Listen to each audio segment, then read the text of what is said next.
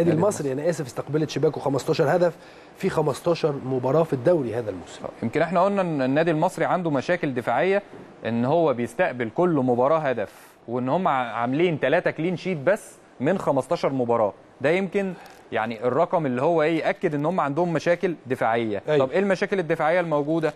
نمرة واحد التمريرات الطولية في عمق دفاع النادي المصري. دخل في مرماهم 3 أهداف من 15 نمرة اتنين ثلاث ضربات جزاء دخلوا شباك النادي المصري. ده بيأكد إن هم برضو بيرتكبوا ضربات جزاء كتير والتمريرات الطولية. ده بيأكد إيه الاثنين دول؟ انهم إن السرد... القلبين الدفاع في النادي المصري عندهم مشاكل في الرقابة والتمركز في الواحد على واحد فبيضطروا إن هو يرتكبوا ضربات جزاء كتير وفي نفس الوقت بيحصل تمرير طولي التمرير الطولي في عمق دفاع النادي المصري بيعمل لهم مشاكل كتير. الحاجة اللي بعد كده برضو الكرات العرضية من الجبهة اليسرى للنادي المصري.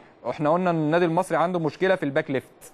فتحديدا الكرات العرضية من الجبهة اليسرى للنادي المصري داخل فيها ثلاثة اللي النهارده بيلعب فيها حسين الشحات وأحمد فتحي. أيوة. هل هيقدروا يستغلوا الجبهة اليسرى نقطة ضعف النادي المصري؟ برضو دخل في شباك النادي المصري ضربتين اتنين ضربات ركنية. وفي حاجة كمان التمريرات بالخطأ من المدافعين ومن حارس المرمى.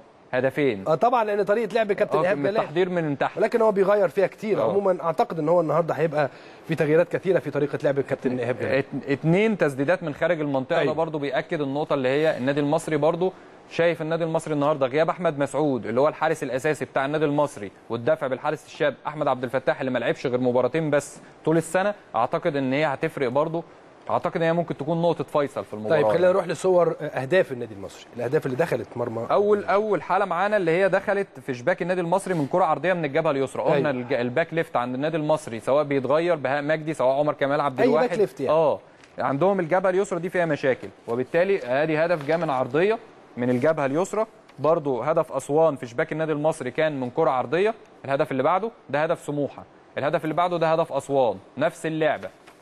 وبالتالي ده بيأكد برضو إن السرد... إن اتنين المساكين عند النادي المصري طيب معلش يا دكتور. عشان جالنا تغيير بس في آه، البدلاء آه، نادي الأهلي